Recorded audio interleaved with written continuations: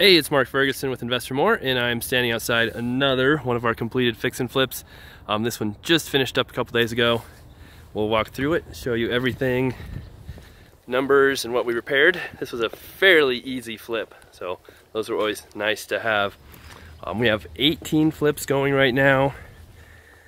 We have six listed, five under contract to sell, and we've got two more we're listing today, including this one. So should have a bunch of them selling here soon.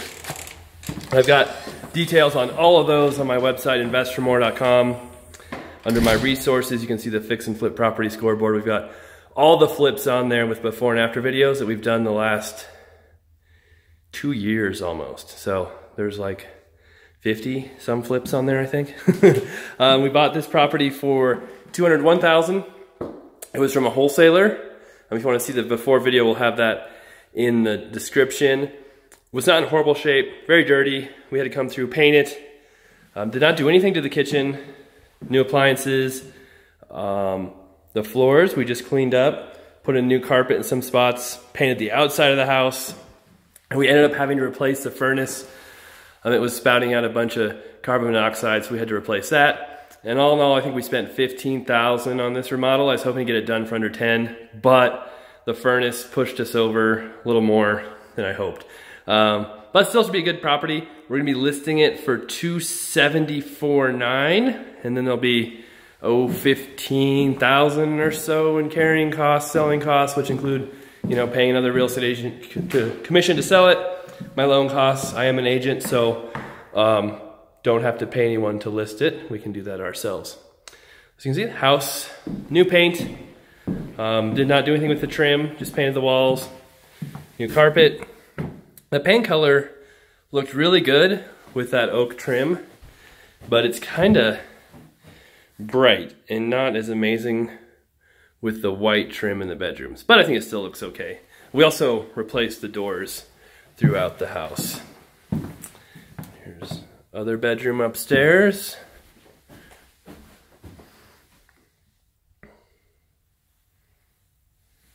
And it's funny, Nikki and I, who's my project manager, just walked through and we realized we forgot to replace the vinyl in this bathroom. We forgot to tell the flooring guy to do that. So um, we'll have our kind of handyman come do that today real fast and lay some vinyl down. But besides, oh, we need a shower head too. Just saw that. You always find new things.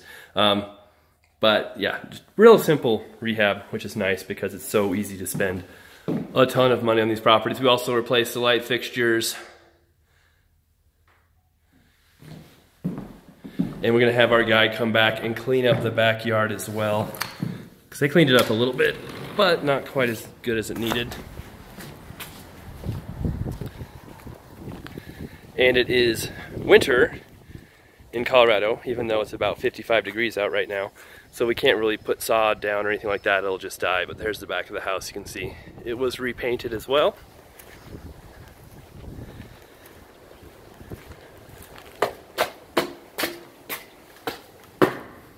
And the master bedroom is right over here. New carpet, new paint, new light fixture. Did not do hardly anything in this bathroom, except for paint really.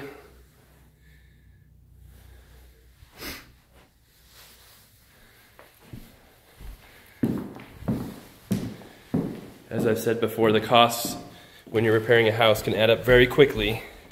So the more economical you can be, usually the better, as long as it still looks decent. um, here's the basement where we did carpet paint as well.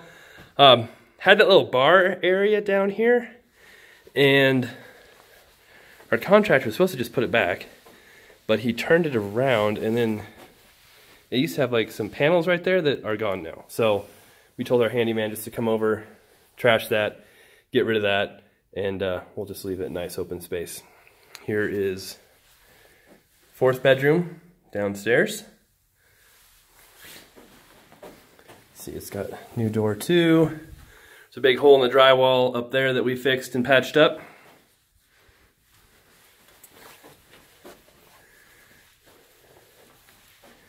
And then here is the third bathroom downstairs.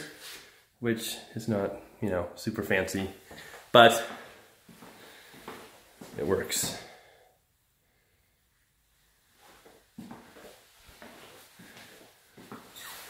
All right, so that is pretty much the house. Like I said, we'll be listing it for 274.9. Very few houses for sale still in our area. Um, the number of active listings in Greeley, Colorado, where I'm at, is at 72 right now with a town with over 100,000 people. So that's why our prices keep going up. There's just no houses for sale. Um, they started building a little bit more, but still very little building going on. And that's just causing prices to keep going up. So this should be a good one. Should sell fast with the low inventory and can move on and uh, keep buying more properties. All right, thanks for watching. Again, check out investfourmore.com for more information on everything we're doing, uh, my podcast, all that. If you like the video, please give me a thumbs up. I appreciate it. And if you want to see some more before and after videos, check out my playlist on YouTube for the fix and flip before and after videos, or subscribe to get new videos coming at you. All right, thanks a lot.